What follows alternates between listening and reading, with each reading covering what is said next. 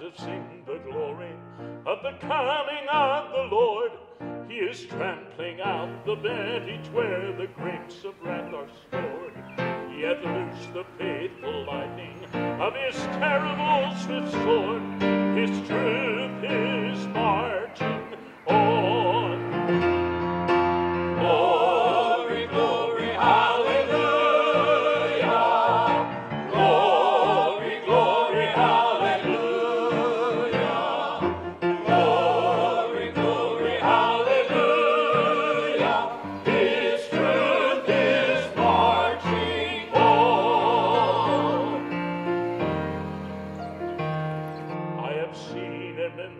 Watchfires of a hundred circling camps. They have builded him an altar in the evening dews and dance. I can read his righteous sentence by the dim and flaring lamps. His day